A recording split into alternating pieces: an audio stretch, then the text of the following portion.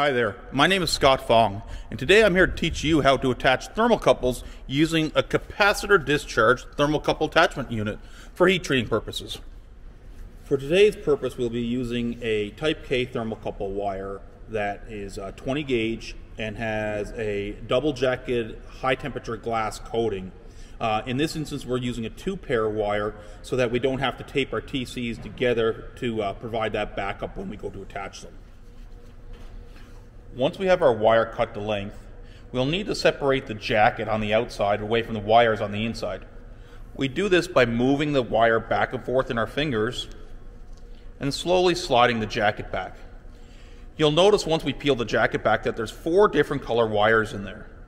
We have a white wire with a red tracer, a white wire with a yellow tracer, a yellow wire, and then a red wire. The next step is to attach the thermocouple plug. In this instance, the Type K thermocouple plug is polarized.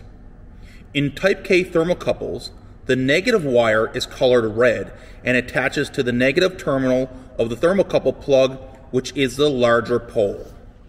As with any welding process, preparation of the base metal is going to be critically important. Ensuring that the base metal is free of mill scale is important, not only for the area that you're going to weld, but also where you attach your ground. Next, power on your thermocouple attachment unit and power to about the mid-range of the power settings.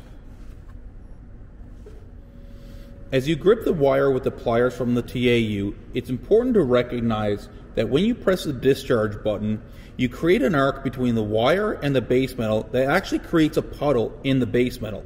So it's important that you hold it in such a way that you can put a little bit of tension on the wire as the TAU discharges. So you can push that wire into the puddle.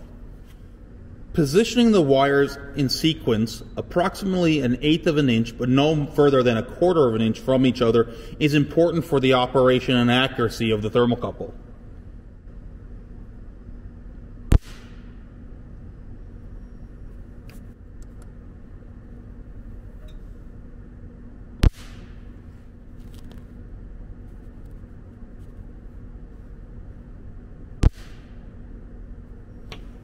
Once you've attached all the wires, bend them over to ensure that all the welds are good and all the wires stay attached. Some of you will wonder why we put the second set of wires on when we were attaching our thermocouples. This is primarily for post-weld heat treatment purposes.